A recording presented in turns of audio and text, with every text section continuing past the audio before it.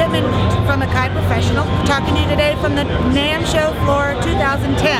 I'm going to show you a couple of our brand new products that are so exciting you're not going to know what to do with yourself. So there's two products here that you're looking at. One is an iPod application by Akai Professional. It's three virtual analog synthesizers, each with three oscillators, eight voice polyphony for your synths and eight voice polyphony for your drums. If you notice here,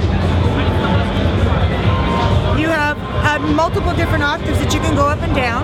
You have effects, you have sequencing, you can write a song, and you can export it as a WAV file into your DAW or your iTunes or whatever you want to do. Uh, and then the other product that it's connected to is called the IPK25. And this is a 25 key controller that has a slot for your iTouch or your iPod that goes right in there.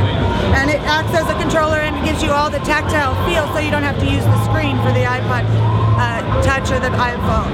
Uh, but this is a MIDI controller, so you can take the iPod out and control any DAW software that you'd like.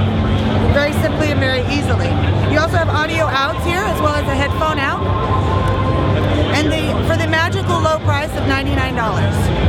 The iPhone app will be available for the iTunes store for $9.99.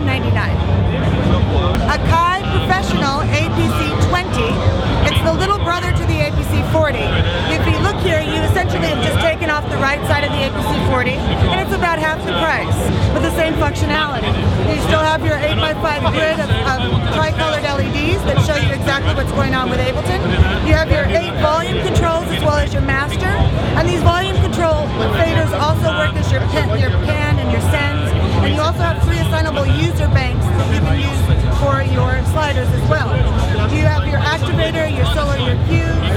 Uh, you have all your uh, transport controls are right here on your button here. You've also got this great note mode, which allows you to, to perform with uh, the drum plugin with Ableton.